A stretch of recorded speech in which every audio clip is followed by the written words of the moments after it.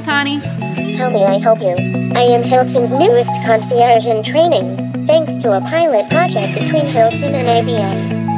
Hospitality is a really interesting use case for Watson because inevitably you have people who need information. They need to find a restaurant, they need to find a park, they need to get directions. We operate in a very crowded industry, so innovation is key. Innovation has to help solve problems operationally. Innovation has to help our customers. It's an opportunity to, to really delight customers in, in ways that they don't expect. We're really excited about being able to build out the cognitive learning capabilities with IBM and Watson at the same time as we have Connie interacting with our guests. It's much more natural. It's it's something that people can identify with. It's much more comfortable, and something that um, allows them to have a more insightful interaction. Actually, it allows us to really serve people, understand what they're looking for, sense their emotions, sense their level of urgency. To be able to take robotics and artificial intelligence and introduce it to the hotel business as a way of helping us operate more efficiently, helping us to delight our customers,